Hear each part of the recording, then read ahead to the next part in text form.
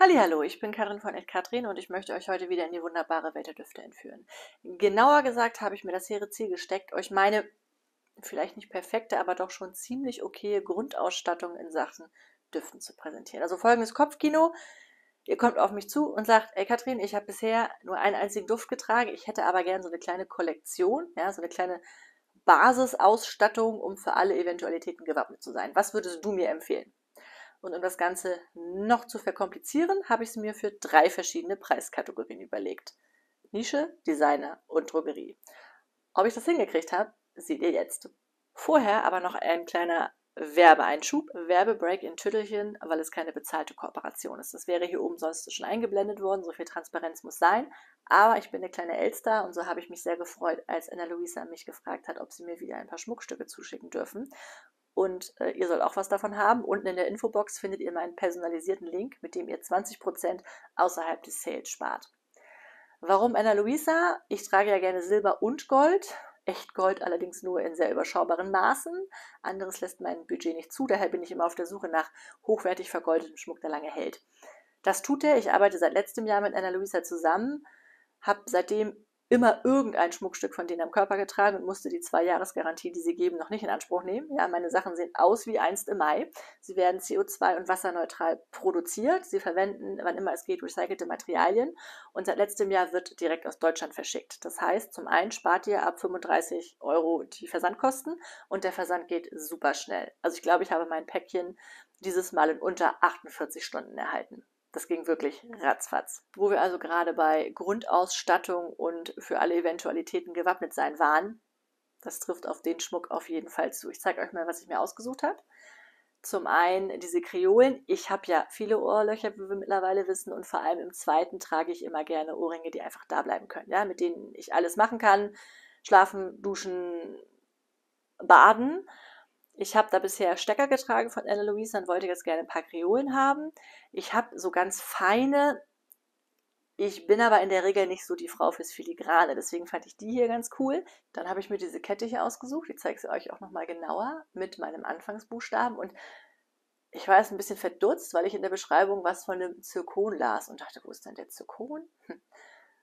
Sehr niedlich, muss ich euch mal zeigen. Ist hinten im Verschluss versteckt. Zum einen ist da das A eingeprägt für Anna Luisa und auf der Rückseite ist ein winzig kleiner Zirkon. Ne? Das sind die Details.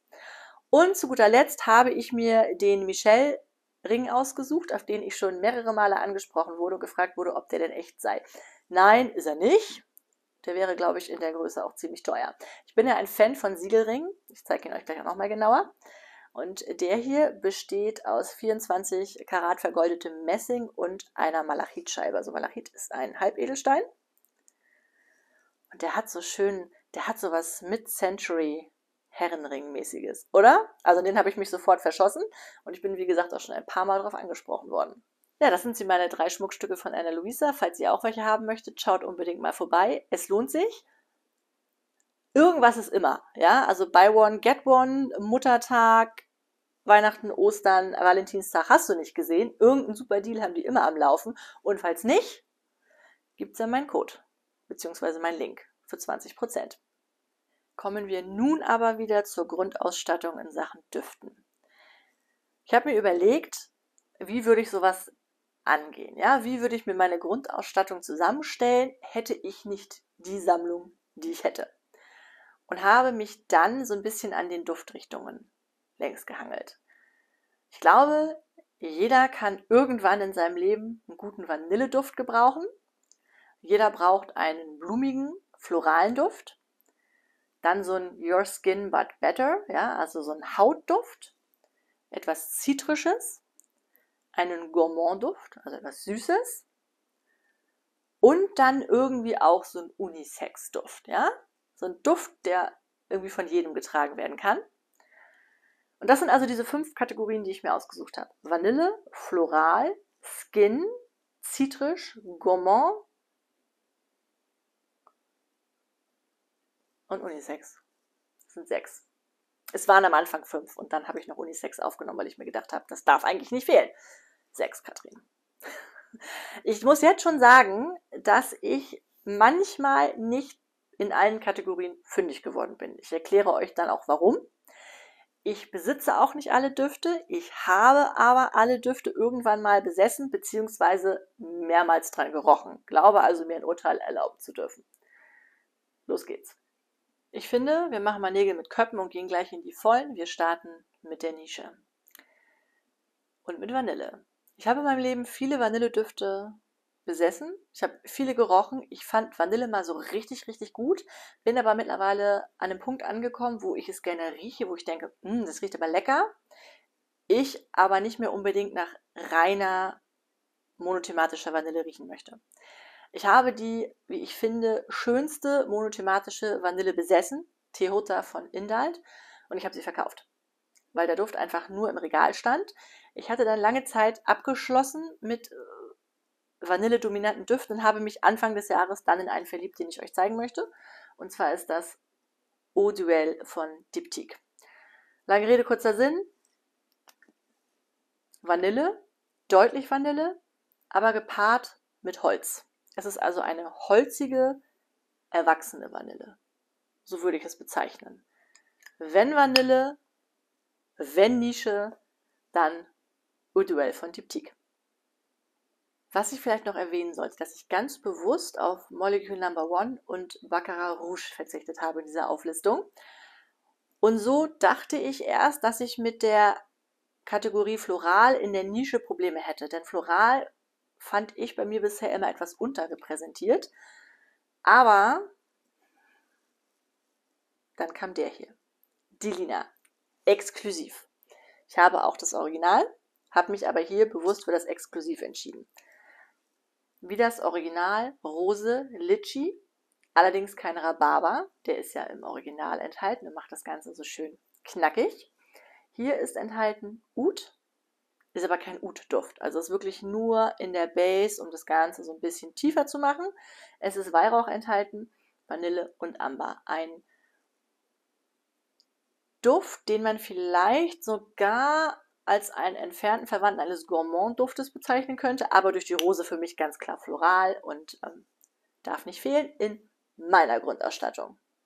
Die Linie exklusiv von Parfum de Mali. Kommen wir zu Kategorie Skin Scent, ja, also Hautduft. Und ich habe ja gesagt, Molecule Number One wird nicht passieren, aber Isu Super wird es trotzdem. Another 13 von Le Labo.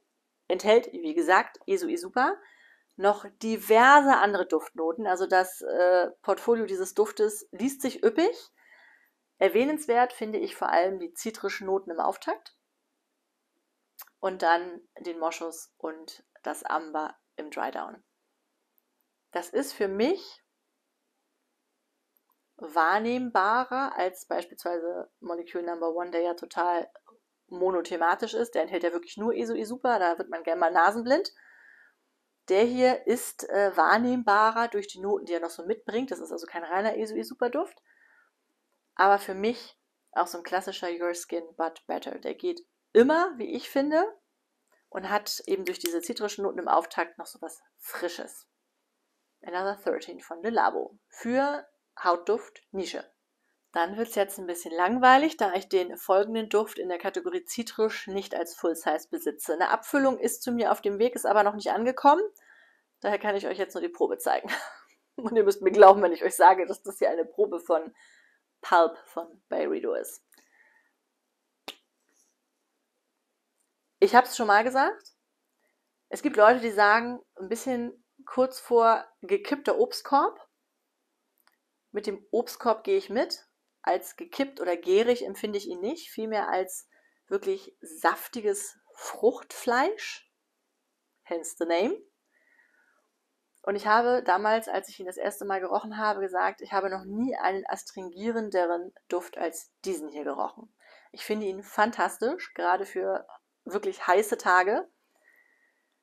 Der ist so, der ist so zitrisch, der ist so sauer, dass ich das körperlich fühle. Ich rieche an dieser Probe und mein ganzer Mund wird trocken. Kennt ihr das, wenn man so eine Zitrone beißt? Das ist dieser Duft. Er ist großartig. Ich werde ihn irgendwann auch als Full-Size besitzen, da bin ich mir ziemlich sicher. Bisher äh, freue ich mich erstmal auf die Abfüllung, die da kommen wird. Pulp von Byredo. Gourmand war easy. Messy, sexy, just rolled out of bed von A Lab on Fire. Dieser Duft, also böse Zungen würden behaupten, der riecht wie Juicy Couture Gold. Jein. Er riecht warm und weich nach Vanille, Tonka, Toffee, Sandelholz zum Anbeißen. Er geht in diese Richtung und ich finde diesen Duft schon richtig, richtig gut. Allerdings hält er bei mir von 12 bis Mittag. Das hier ist die große, reiche Schwester.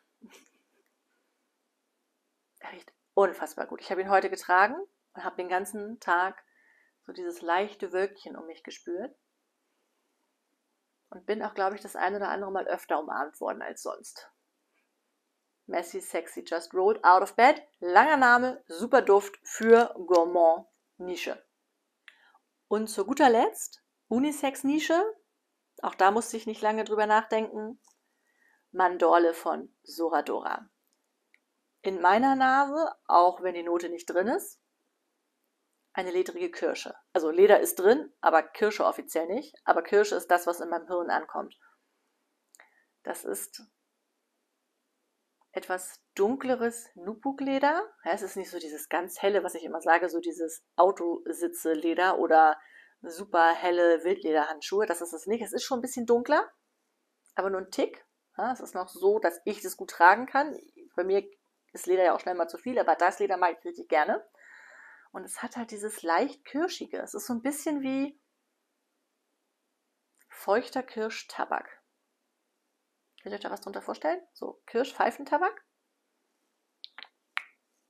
Mandorle, Soradora, ein richtig guter Duft, wenn es so in die Richtung Unisex gehen soll.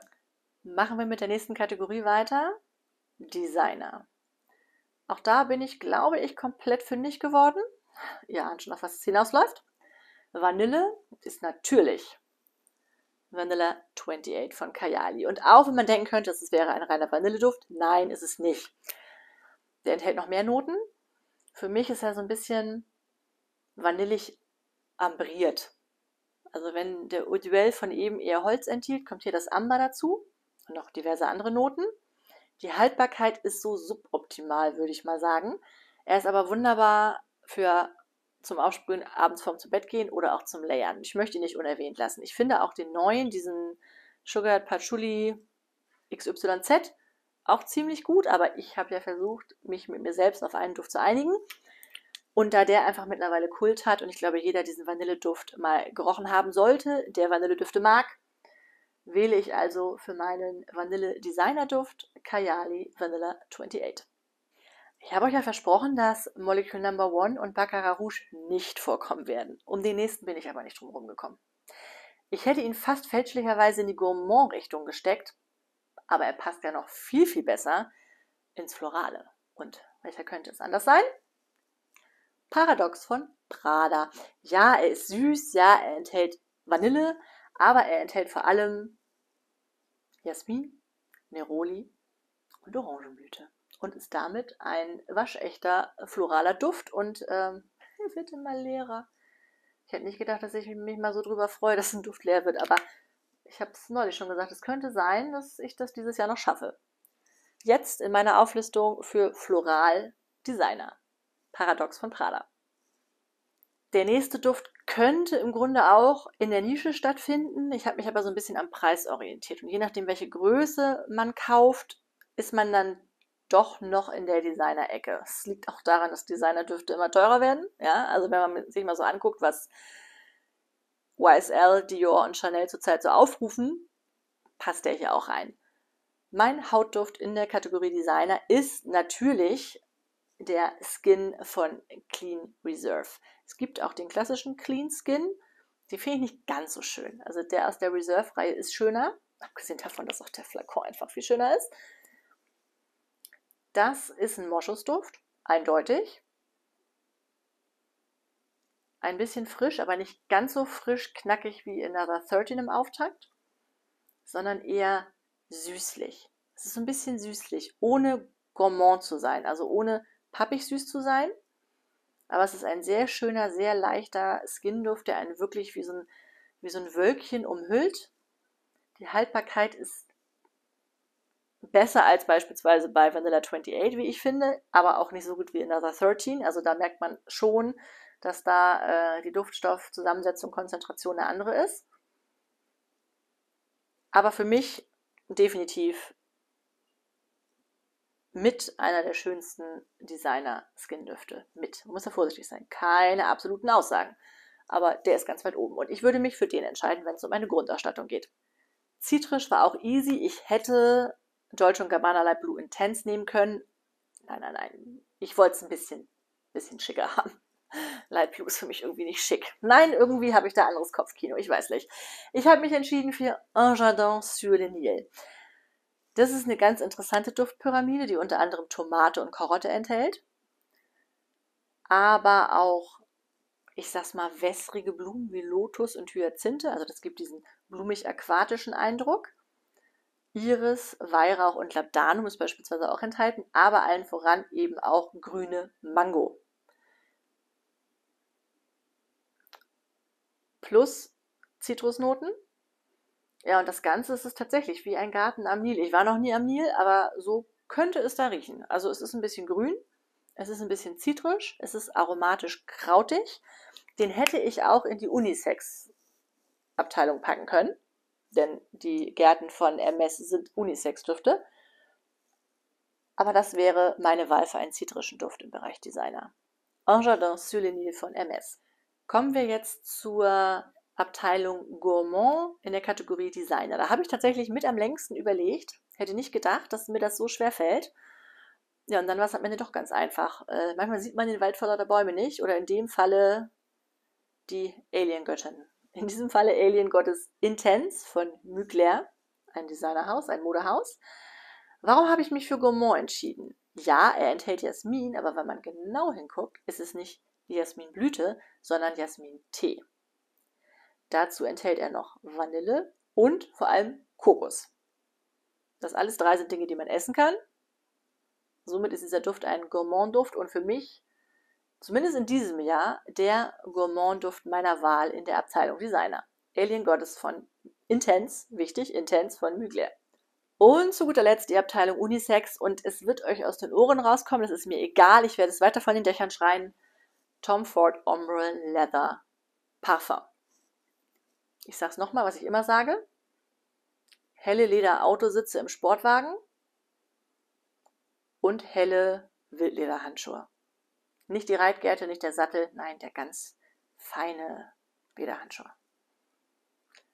Femininer, ein bisschen süßer, ein bisschen weicher als äh, das Original Ombre Leather. Das mag ich, es gefällt mir auch, empfinde ich aber als tendenziell eher maskuliner. Der hier ist Unisex, fast schon weiblich anmutend. In meiner Nase, in meinem Gehirn. Für mich der Kandidat für Unisex-Duft im Bereich Designer weil der preislich halt eigentlich auch nochmal eine Schippe drauflegt. Also wenn ich gesagt habe, YSL, Dior und Co. sind schon teuer, je nachdem, welche Packungsgröße man hier kauft, hm, es ist auch schon deutlich dreistellig. Zu guter Letzt kommen wir zu der Kategorie, auf die ihr alle gewartet habt. Ich kenne euch ja, ihr kleinen Flitzpiepen. Drogerie. Das ist auch die Kategorie, die den größten Disclaimer vorweg braucht. Zum einen, weil ich festgestellt habe, dass das gar nicht so einfach war für mich. Es gab Duftkategorien. Da hätte ich sofort mehr als einen Duft nennen können. Und dann gab es Kategorien, da bin ich gar nicht fündig geworden. Und das ist so ein bisschen symptomatisch. Es gibt ganz offensichtlich Duftrichtungen, die in der Drogerie favorisiert werden. Die findest du da zuhauf. Und dann gibt es so Kategorien, Duftrichtungen, da wird es schwierig. Ich habe mich hier vor allem an Rossmann orientiert. Der hat hier die größte Duftauswahl von wirklich günstig über Midrange bis hin zu den teureren Sachen hinter der Glaswand, für die man dann klingeln muss. Da findet man dann auch plötzlich so Sachen wie Un sur le Nil oder Molecule Number One. Dann habe ich bei Butni geguckt. Die haben zwar auch Designerdüfte, aber sehr überschaubar und immer die gleichen. Also die haben selten mal so Neuerungen im Sinne von, da kommt mal was anderes ins Regal. Dann haben wir DM, den habe ich hier nicht in meiner Nähe, aber da habe ich auch äh, das so in Erinnerung, dass das Duftregal relativ überschaubar ist. Dafür haben die Düfte, die DM exklusiv sind, also die du dann in anderen Parfümerien nicht bekommst. Mein Maßstab ist also Rossmann mit der, wie ich finde, größten Auswahl und man hat auch häufig Angebote. Also ich habe mich jetzt ein bisschen an den Preisen, an den Standardpreisen orientiert, aber selbst da kann man immer noch mal sparen. Und dann möchte ich noch sagen, dass ich Düfte von, ich nenne sie jetzt mal Dupe-Firmen, komplett weggelassen habe. Beispielsweise Larif oder wie sie alle heißen. Also Firmen, die sowohl im Packaging als auch im Duft darauf abzielen, einen größeren, bekannteren, beliebteren Duft zu kopieren. Weil ich finde, dass es mir das zum einen zu einfach gemacht hätte. Da hätte ich einfach nur gucken können, ich kaufe jetzt was, das riecht wie Alien, ich kaufe jetzt was, das riecht wie Baccarat Rouge, hätte mir den Wagen voll packen können und wäre fertig mit der Chose. Ich wollte aber zeigen, dass man mit seinem Budget auch in die Drogerie gehen kann und alleinstehende Düfte, also für sich stehende Düfte kaufen kann und sich damit gut beduften kann. Ist das nachvollziehbar? Ja. Kommen wir jetzt zur ersten Kategorie, Vanille. Und wie Sie sehen, sehen Sie nichts. Ich habe in der Drogerie keinen reinen oder vanilledominanten Duft gefunden, den ich euch empfehlen wollen würde. Nein. Es gibt diesen einen Touch of Vanille, es kann sogar sein, dass der von Larif ist. Ich weiß gar nicht genau, ich wüsste nicht, wen der kopieren wollen würde. Aber der krankt an dem, an dem so viele Vanilledüfte kranken, die ich aus der Drogerie kenne. Die riechen alle irgendwie nach billigem WC-Spray. Entschuldigung. Hat mir nicht gefallen, ich habe keinen gefunden, den ich euch guten Gewissens empfehlen könnte. Haken hinter dann lieber irgendwie online gucken bei den ganzen nahöstlichen arabischen äh, Parfummarken. Das ist nochmal ein Thema für sich, aber da gibt es ja auch sehr günstig Düfte und ich behaupte, dass man da eine schöne Vanille finden könnte. In der Drogerie habe ich keine gefunden. Dann sind wir in der Kategorie floral, blumig und das war tatsächlich die, wo ich euch ad hoc drei Düfte hätte nennen können, mindestens. Das scheint auch mit einer der vorherrschenden Duftkategorien zu sein, ja, also dieses nicht zu süß, also es gibt auch süße Düfte in der Drogerie, aber deutlich weniger, als ich gedacht habe. Ich habe wirklich über Tage immer wieder in meinem Rossmann vom Regal gestanden und Fotos gemacht und geschnuppert. Die müssen schon gedacht haben, was macht die Frau da? Also ich habe mich intensiv mit der Thematik beschäftigt. Es gab weitaus weniger süße Düfte, als ich dachte, dafür aber wahnsinnig viele Düfte, die in die Kategorie blumig, ambriert, Moschus, ein bisschen süß fallen. Ich habe mich am Ende dazu entschieden, euch drei Düfte zu präsentieren. Drei. Dann mache ich eine Ausnahme, weil es drei sehr unterschiedliche Düfte sind, die ich tatsächlich erwähnenswert finde. Und die es in der Drogerie zu kaufen gibt. Zum einen können wir ganz schnell abfrühstücken Guess Seductive Noir. Wenn ihr einen Duft wollt, der sehr, sehr nah an Montguerlain kommt und erfreulich lange hält, bei einem vergleichsweise geringen Preis der da. Nummer 1. Nummer 2. Rosa Pfeffer, Orangenblüte und Vanille. Roberto Cavalli. Roberto Cavalli, der Originalduft. Es gibt äh, zumindest bei mir in der Drogerie einige Düfte von Roberto Cavalli. Ich finde, die sind alle einen Riecher wert. Also Roberto Cavalli, wie oft kann man Roberto Cavalli sagen, bietet ein wie ich finde, gutes Preis-Leistungs-Verhältnis. Die Düfte riechen intensiv, die projizieren, die hinterlassen auch eine Sillage. Der hier geht so in Richtung blumig, tropisch, ein bisschen dieses Schwülstige, ne, dieses Orangenblütenschwülstige, was ich persönlich ja mag. Der riecht tatsächlich nach nackte Zehen im warmen Sand, Sonnencreme, Cocktail und äh, regennasse Palmblätter.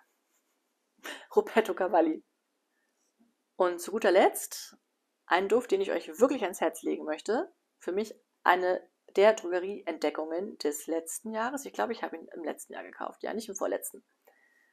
Tokyo Shibuya von Karl Lagerfeld. Die Düfte an sich finde ich tatsächlich alle ziemlich knorke. Es gibt einen Rom für Frauen noch, es gibt noch einen Paris, der, wie ich finde, sehr diesen Chloé Eau de Parfum Vibe aufgreift. Also wer da Lust drauf hat, haltet mal die Nase dran. Das Preis-Leistungs-Verhältnis ist super, die halten vergleichsweise lang, sind, wie ich finde, gut komponiert, sind sehr ausgewogen. Und der hier enthält eine meiner liebsten Nuancen, Rhabarber. Er enthält aquatische Noten, Rhabarber, Magnolie, Kirschblüte, Pfingstrose, Moschus, Zeder und noch ein paar andere. Und das ist so ein richtig schöner, heller, frischer, blumiger Duft mit eben dieser Rhabarbernote und einem schönen Dry Down. Also den mag ich äh, wirklich gern. an diese Karl Lagerfeld Düfte, haltet da mal die Nase dran. Ich habe sie lange ignoriert. Es lohnt sich. Karl Lagerfeld Tokyo Shibuya. Skin, wie sollte es anders sein? Ich habe im letzten Jahr schon mal gesagt, dass wir das Glück haben, einen, wie ich finde, der schönsten, gefälligsten, tragbarsten weißen Moschusdüfte für ein Apfel und ein Ei überall in der Drogerie zu bekommen. Und zwar ist das White Musk von Joven, Jovan, ich weiß aber noch nicht, wie es ausgesprochen wird. Es gibt da mittlerweile ja einen Musk, Black Musk, Golden Musk. Den White Musk finde ich am schönsten. Und richtig dosiert, die werben ja so ein bisschen damit, dass es ein bisschen animalisch ist und auf heißer Haut, verführerisch und so. Ja, und der riecht auch tatsächlich gut. Also den kann man zum einen wunderbar layern. Ich glaube, hier auch mit dem Kayali äh, Vanilla 28 wäre der super. Oder auch mit was Holzigerem oder Molecule Number One, das muss ich mal ausprobieren. Das ist tatsächlich ein weißen Moschusduft, den ich tragen würde, den ich auch solo tragen würde. Immer in Maßen. So Moschus ist ja, ne, das kann auch mal anecken. Aber der ist, wie ich finde, richtig gut. Ich habe schon deutlich teurere weiße Moschusdüfte, Moschusdominante Düfte gerochen, die ich bei weitem nicht so gut fand wie den hier. Und den kriegst du quasi hinterhergeschmissen. White Musk von Jovan. Jovan. In der Drogerie. Der mit der Blume. In der Kategorie Zitrisch habe ich einen Duft für euch, den habe ich schon erwähnt, kann ihn euch aber immer noch nicht zeigen, weil ich ihn nicht habe. Deswegen blende ich ihn euch hier ein. Ich habe ihn aber besessen. Ich habe ihn oft besessen in meiner Laufbahn. Zuallererst als Teenie. Und zwar ist es Green Tea von Elizabeth Arden. Ich habe ihn erwähnt, weil er, und das wusste ich auch nicht, aus der Feder von Francis Courtigan stammt. Wer hätte das gedacht? Der enthält Zitrusnoten, natürlich, ist ein zitrischer Duft, Minze, Rhabarber, Jasmin und dann, ähm, wir haben darüber gesprochen in meinem 90er-Video, Fenchel, grüner Tee, Selleriesamen, Kümmel, Nelke, also irgendwie das halbe Gewürzregal.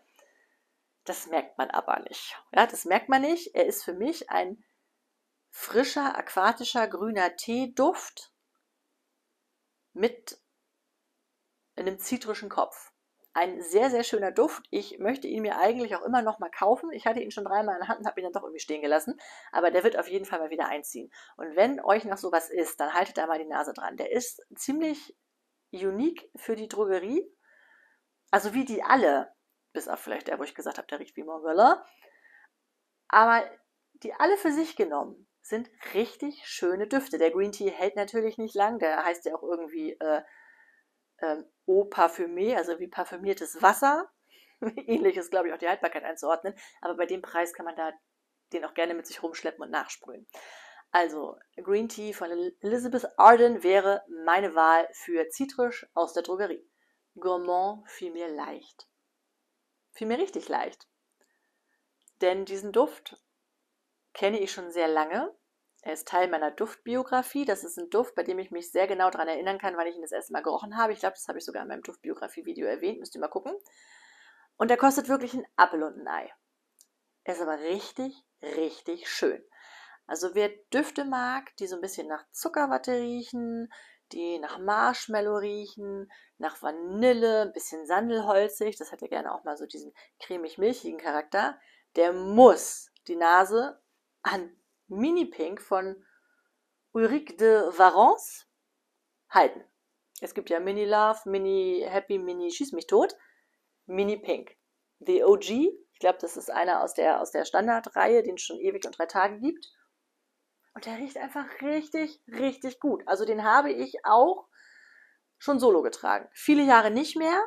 Das ist ein Duft, den habe ich eher noch aus Nostalgiegründen in meiner Sammlung. Aber wenn ich jetzt so dran rieche, und ich habe heute Messi Sexy Just Rolled Out of Bed getragen. Den könnte ich morgen draufknallen und die Leute würden einen Unterschied merken. Es ist halt ein anderer Duft, aber die würden sagen, hey, du riechst ungefähr so gut wie gestern.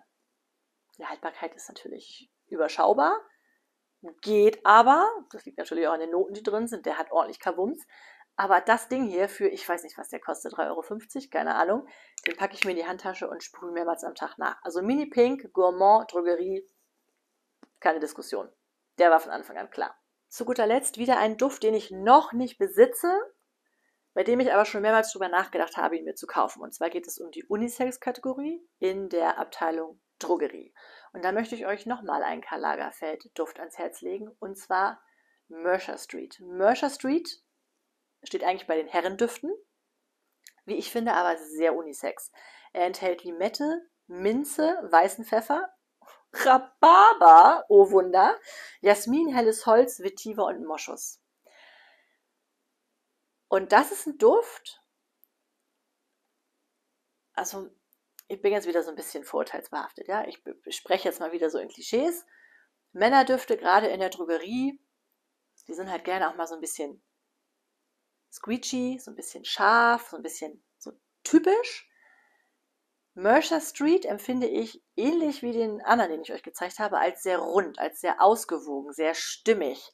Und durch gerade dieses Limette, Minze, Rhabarber, Jasmin total schön für Leute, die diese Duftrichtung mögen, aber es nicht zu männlich oder zu weiblich haben wollen. Also ich empfinde den als klasse Unisex-Duft und ich bin mir ziemlich sicher, dass der auch irgendwann einziehen wird. Mercer Street von Karl Lagerfeld. Ja, das waren sie, meine drei Grundausstattungen in Sachen Düften, ja, Nische, Designer, Drogerie. Ich bin sehr gespannt auf euer Feedback. Ob euch noch eine schöne Vanille äh, aus der Drogerie einfällt, dann packt sie bitte unten in die Kommentare. Ansonsten möchte ich euch nochmal auf meinen personalisierten Link von Anna-Luisa hinweisen, mit dem ihr immer 20% außerhalb des Sales bekommt. Schaut da gerne mal vorbei, die haben richtig schöne Sachen, Designs von bis. Ich glaube, da wird jeder, jede fündig, in Gold sowie in Silber. Ansonsten sage ich danke fürs Zusehen und tschüss bis zum nächsten Mal.